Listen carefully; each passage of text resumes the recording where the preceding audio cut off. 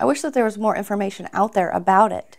That I didn't learn about it until after I had a child, you know, who needed services, and then found out that it was through the Child and Family Connections. Before that, I had no idea that there was a Child and Family Connections and what services that they provided until I met with our service coordinator who, you know, gave us all the paperwork about it. We actually kind of kept everything private.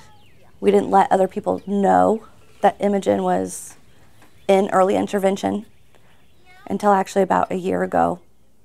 Um, we decided to finally tell everybody that, you know, she was going through intervention, um, that she even had had strokes, because um, we didn't want others around her to treat her differently. So that was a big step for us to even tell people that she had early intervention services.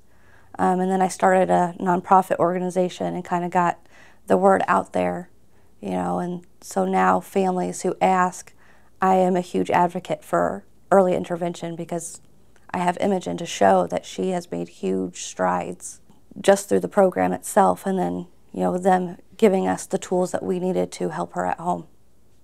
I think letting parents know that it's through Child and Family Connections and that it's not just an early intervention program, um, I think more parents would be receptive to it than, you know, because they hear intervention and that's a very scary word. We're very happy, you know, with, with the care that we got from the early intervention program. It has gotten a lot easier for us to talk about, you know, our daughter having a stroke and how how amazing she has done, and then also, um, you know, why she has done so well. And one of the big things for us is because of early intervention.